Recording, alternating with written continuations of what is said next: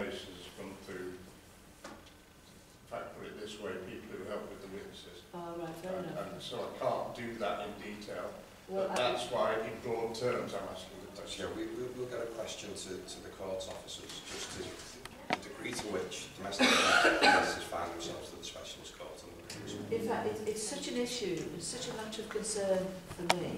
Domestic abuse has always been, throughout my working life, I've had an awareness of the, the problems that, that particularly women face in some circumstances.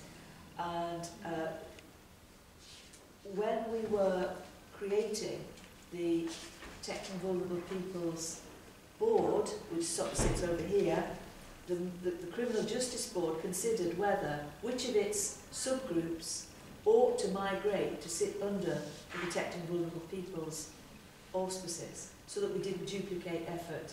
This was the one area that I felt very strongly the courts and the criminal justice process needed to stay really focused on making sure that victims of violence got justice as often as we could deliver it.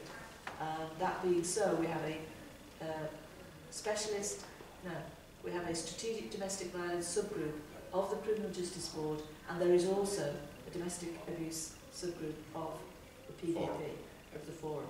I keep forgetting what name it is, just whatever it is, whatever it is at the moment. So I would want to be sure that the criminal justice system is working properly, and I will ask, and I know Justin and I will take it back and ask that question. Thank you. Right, I'm conscious of time. Are there any further questions? at this? No? Uh, we're satisfied with the progress being made to deliver the police compliant priorities. Thank you. Agenda item four. Oh, this is the one that I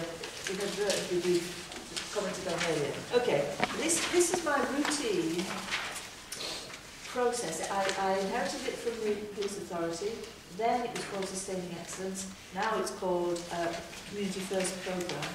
And it is the way in which the force asks every element of its work to be reviewed through a, through a process of two or three years to ensure that if there are any savings to be made, they can be saved, taken without the service being too badly damaged. On the 1st of February, I approved five Tier 1 business cases.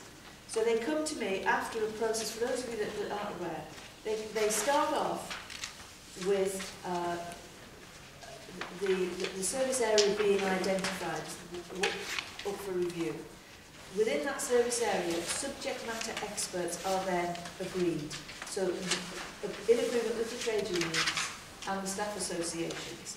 And those subject matter experts then engage with managers and supervisors to look at the processes uh, uh, within that uh, review area. After that, it goes through a number of other reviews, including close scrutiny by the trade unions and the staff associations. And when it finally comes to me at, at stage five, the, uh, the aim is that any disagreements are, have been, uh, have been resolved before a business case is then presented to me. So it comes to me at stage five and I consider it and we get the opportunity to review everything within the business case and it's often very operational. Um, and then, if there is agreement around the table, I will generally accept the recommendations of the business case.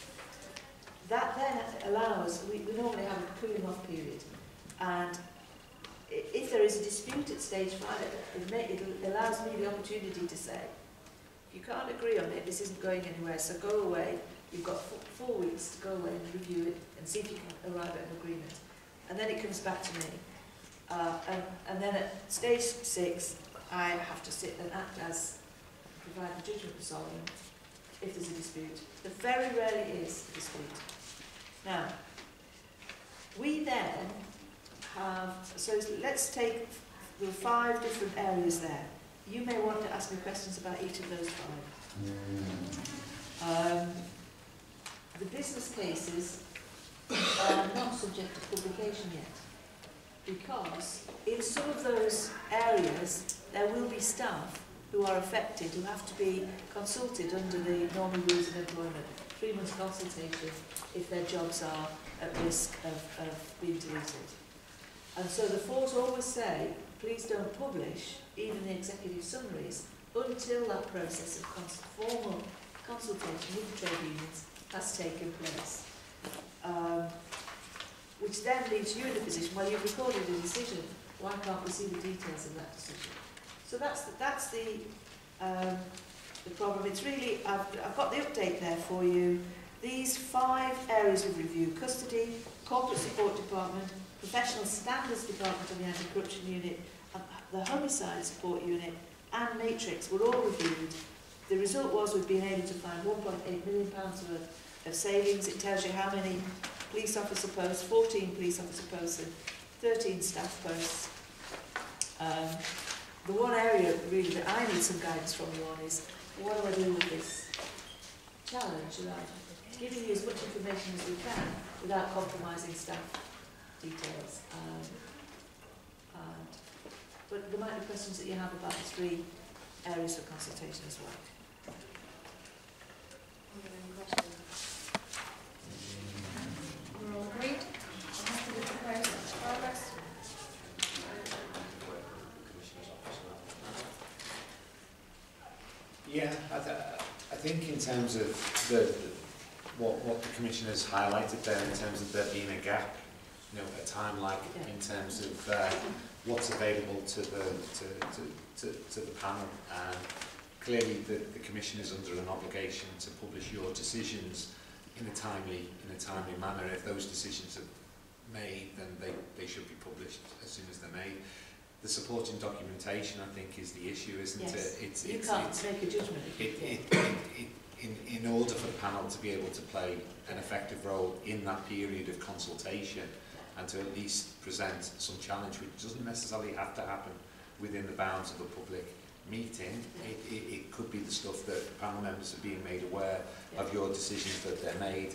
Maybe there is something, as Justin suggested, to explore in terms of what could be made exclusively available to the panel members under the condition of confidentiality, bearing in mind the, the, the, the nature of the material that potentially would be shared.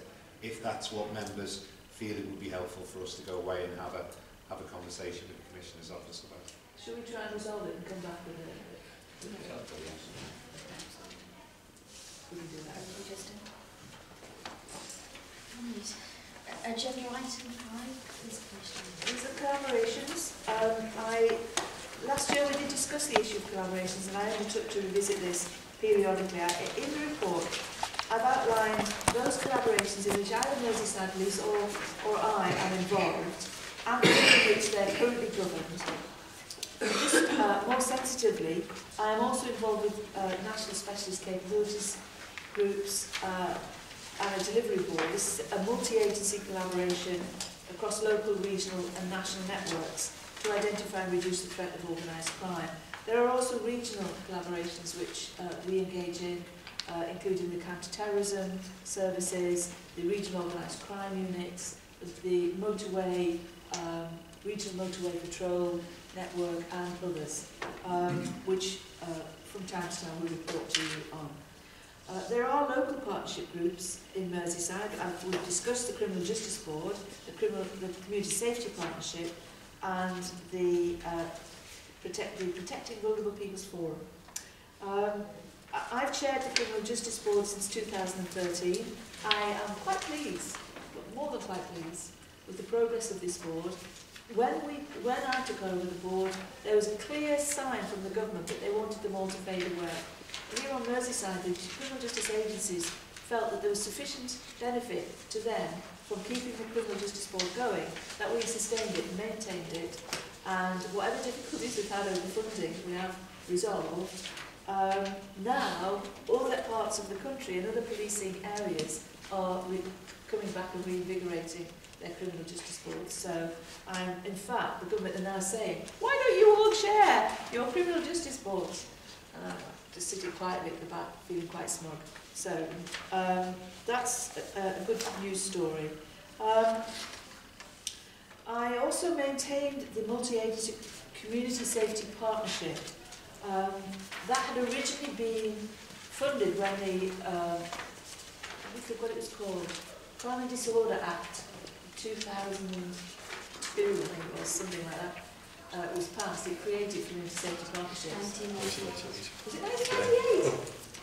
There you go.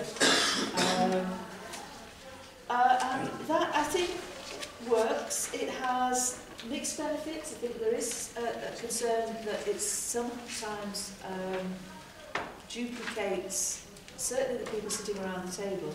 But we keep that under review.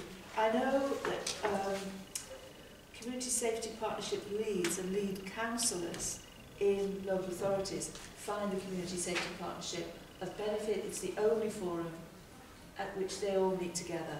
And if for no other benefit than that, that networking opportunity, the sharing of best practice, it has some value. The uh, Protecting Vulnerable People's Forum is a combined authority partnership group. Um, it includes participants from the NHS, local authorities, the fire service and the police um, across the whole, the five local six local authority areas of the new mayoral area, the, the, the region. But it also uh, reports, or the, the report you've got talks about the Fire and Rescue Authority, of which I am now a member for my sins. and Appendix A itemises some of the more operational functions, and I have touched on some of them. If you've got any questions, please do feel free to ask. Yeah, can, can I just make, yeah, just, a- you just mentioned the uh, Fire and Rescue Committee. And I noticed that the, um, the last scheduled meeting was on the 19th of May. There's nothing on the website, is there, about it? And, you know, I'm just wondering uh, where we are in regard to this collaboration. It's the joint committee. that you're referring Is that the joint collaboration? Yes, the joint collaboration one, yes. To be honest, the committee meets, it meets on an ad hoc basis, it doesn't meet on a regular basis. It meets as and when there is business to discuss. Last May, we were considering the report that had been commissioned uh, inviting Deloitte to report, to, to do a study of uh, the back office, the uh, potential shared services, so um, human resources, uh, uh, administration of the, of the fire authority, to see whether we could save money across the fire authority and the police. I think the conclusion was that there weren't that many savings to be made. Collaboration is still ongoing, at, particularly at an operational level, and that's progressing very well. But the joint committee doesn't necessarily meet to discuss that. If I may add, Chair, one in the background to the, uh, the committee, the, the uh, Commissioner attends along with the Chief Constable. Um, there's a Blue Light Collaboration Board and a Corporate Service Review Board, which are the operational leads from uh, three organisations, Ambulance Service, Fire Service and the Police. Uh, I represent the Commissioner on that board. The, chief, the Deputy Chief Constable attends. So the work in the background is very much ongoing. Um, the 10 items that the Commissioner referred to regarding the corporate services review are being reviewed individually. Uh, unfortunately, because of contractual arrangements between fire and some of the providers, um, we're not able to engage to the depth that uh, Deloitte recommended, but nevertheless the work is still, uh, is still ongoing, very much alive. In fact, the last meeting of, of the, uh, those two previous boards was the 24th of January, so they will report to uh, the authority uh, in due course. Thank you. Any further questions? So you're satisfied the collaborative work? Agenda item six. I'm happy to say there have been no developments yet in terms of changes to complaints responsibilities. Very happy to be able to say that, although it will come. Uh, but I believe all other actions are up to date. Queries? Um, I just have one. Was the event successful? And what was the level of attendance like? Uh, is this the solar campus? That's right. It was very, very successful.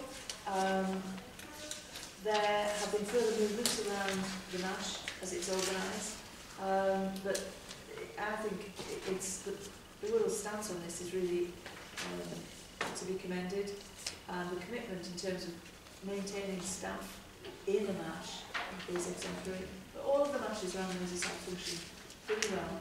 We keep them under constant review.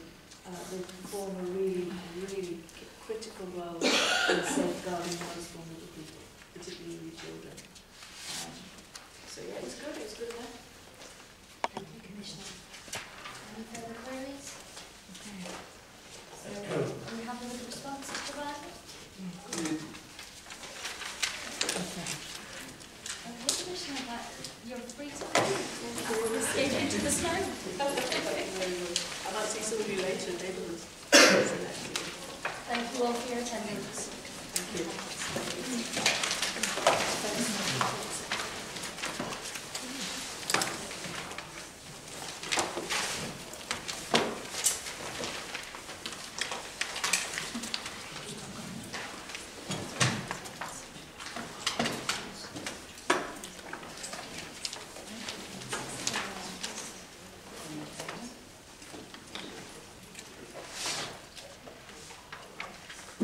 Okay, so Take care.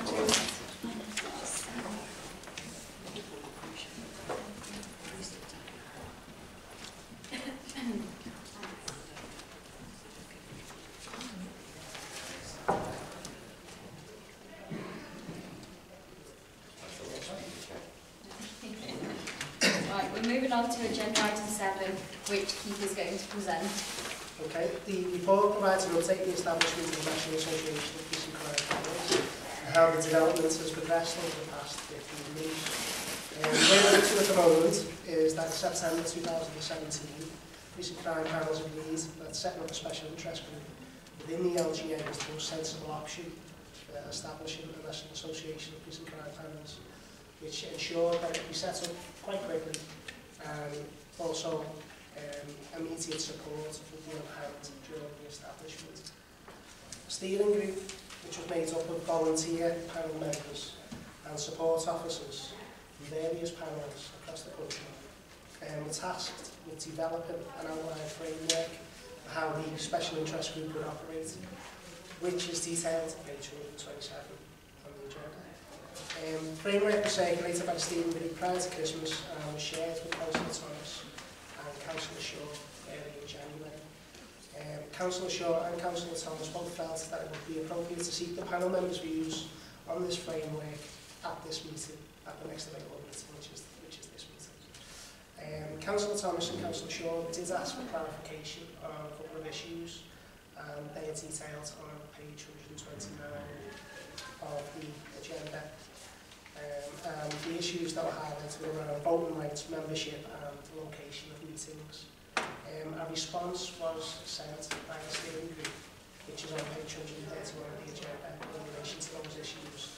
And in general terms, there's nothing has been set in stone as yet, and all these issues will be firmed up at the inaugural meeting of the special interest group. Um, at, at this moment in time, there's no actual date being set as yet for this inaugural meeting.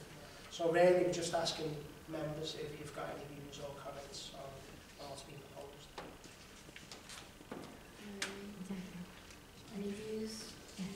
Having attended the um, consultation in, I think it was October, can't remember that, uh, um, when the proposal was put and generally agreed by those present.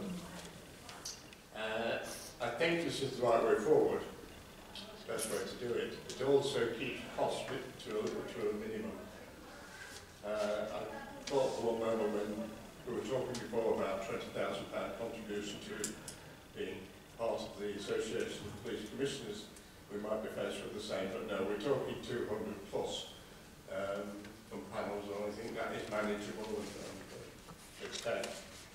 Um, I'm still very concerned at the end of the day, you're talking about two per panel being part of a group, that is essentially ends up being about 80 people, which is a bit crazy, to say the least.